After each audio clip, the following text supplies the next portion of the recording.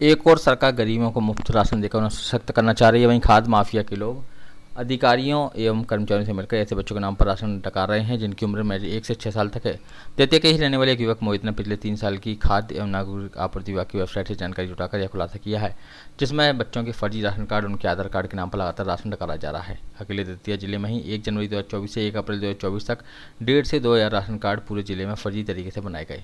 इनमें ग्रामीण क्षेत्र में ग्राम पंचायत कार्ड बनाए जाते हैं, नगर पालिका और खाद्य विभाग के राशन कार्ड बनाए गए हैं।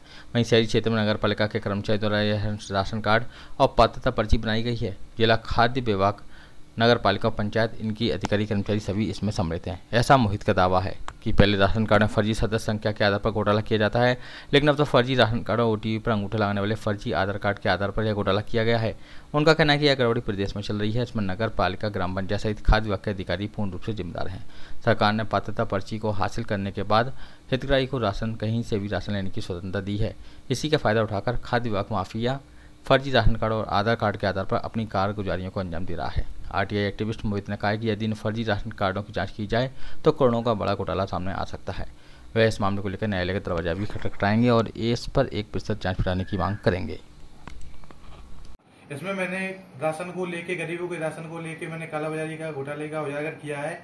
इस पर मैं सन 2022-23 से लगा हुआ था। जिसका लगभग लगभग मुझे अच्छा परिणाम मिला और इनकी अधिकतर कालाबाजारी मेरे सामने आती गई, लेकिन 2024 में इनने इतना बड़ा घोटाला किया है जो 2022 और 23 से भी बड़ा है। ये वो इतना बड़ा है कि पहले तो ये ऐसा करते थे कि ओरिजिनल राशन कार्ड में ये सदस्य बढ़ाते थे फर्जी तरीके से आधार कार्ड लिंक करके, लेकिन अब तो इनने सीधे सीधे बच्चों के राशन कार्ड बना दिए हैं। इसमें सबसे पहले पंचायत का रोल है सेक्रेटरी का, उसके बाद नगर पालिका के पूरे अधिकारी कर्मचारी शामिल हैं, उसके बाद फ़ूड विभाग के। इनके द्वारा फर्जी तरीके से बच्चों के आधार कार्ड बनाए गए हैं और वो भी कम से कम एक वर्ष, दो वर्ष, तीन वर्ष, चार वर्ष, पाँच वर्ष, छह वर्ष, सात वर्ष ऐसे बच्चे शामिल हैं और कुछ बड़े भी हैं बाईस, तेईस वर्ष के। सिर्फ़ टोटल फर्जी तरीके से इनकी ना तो कोई केवाईसी है, ना कोई, और उनका राशन निकालने के लिए ओटीपी का उपयोग करते हैं, आधार कार्ड का। किसी दूसरे व्यक्ति का जिसका राशन कार्ड नहीं बना होता है, उसका फिंगर लगवाते हैं, उसका आधार लिंक ओरिजिनल करते हैं, बाकी के सारे सदस्य फर्जी होते हैं। तो उसके माध्यम से कभी कभी फिंगर लगा के राशन निकाल लेते हैं या तो फिर ये सीधा सीधा ओटीपी से राशन निकालते हैं। इसमें सबसे ज़्यादा गरीबों का हक छीना जा रहा है और सरकार को भी लूटा जा रहा है। ये सिर्फ़ अधिकारी और कर्मचारियों के द्वारा ही किया जा रहा है। इसमें कोई भी व्यक्ति शामिल नहीं है अधिकारियों कर्मचारियों के अलावा। सर लगभग अभी तक कितना के मामला आपने 2022 और 23 का नाम लिया है तो कितने का आपने उजागर किया है ऐसा? अभी तेईस में तो सिर्फ़ आधार कार्ड लिंक है इनके सदस्यों के तो वो लगभग डेढ़ दो हज़ार आधार कार्ड पाए गए हैं इनकी, जो दूसरे की राशन कार्ड ओरिजिनल जो बने हुए हैं, उनमें इन्हें सदस्य बढ़ाए हैं। उसके आधार पर हर व्यक्ति का पाँच किलो राशन खा रहे हैं। प्लस प्रधानमंत्री का भी राशन आया था इन्हें वो भी टका लिया। तो दस किलो के हिसाब से खाया उस टाइम तो इनने। अभी वर्तमान में इनने जो राशन कार्ड बनाए हैं, किसी में इनने सात सदस्य रखे हैं, किसी में चार भी रखे हैं, और किसी में तो तेरह तेरह सदस्य रखे हैं।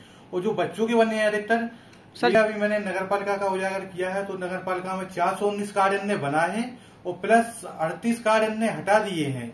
वो कार्ड इसलिए हटा दिए जाते हैं क्योंकि जब तक इनको राशन लेना होता है, एक आठ डेढ़ साल ये चलाते हैं, उसके बाद ये दो चार महीने के लिए बंद करते हैं उसको आराम से हटा देते हैं कि शासन को ये समझ में नहीं आए कि ये एकदम से क्यों हटे। एकदम से हटाएँगे तो उनको समझ में आ जाएगा कि इनने कालाबाजारी की है या कोई घोटाला हुआ है। तो ये रुक के हटाते इसलिए हैं कि उनको समझ में नहीं आएगा कह देते हैं ये उसमें रिपोर्ट में लिख के लगा देते हैं अधिकारी फ़ूड विभाग की कि ये लोग राशन लेने आ नहीं रहे थे इसलिए मैंने इनको हटा दिया है। काम कर रहे हैं काला बाजारी। राशन कार्ड में आप लगा लीजिए आप नॉर्मल मान के चलिए दस सदस्य है राशन कार्ड में तो इनने कम से कम करोड़ रुपए का घोटाला करके रख दिया। करोड़ों रुपए का घोटाला छोटा मोटा नहीं है बहुत बड़ा है। ये तो मेरे पास पूरे साक्ष्य हैं। मतलब आपका कहना ये है कि जो कार्ड मैंने इनकी साइड से ही निकाले हुए हैं।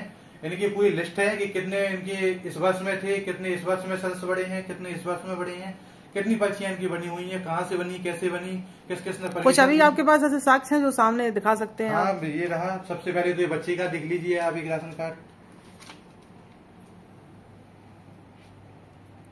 अच्छा एक वर्ष दिखा रहा है कि मुखिया एक वर्ष का बच्चा है इसमें। मुखिया क्या पूरे बच्चे फर्जी है? और जी इनके द्वारा ये दिया गया है। जी। इसमें कौन कौन शामिल है? नगर पालिका के अधिकारी हैं और इसमें नगर पालिका और फ़ूड विभाग। खाद्य विभाग। हाँ। और ये देखिए राशन भी निकल रहा है इनका। ये राशन भी निकल गया है इसका।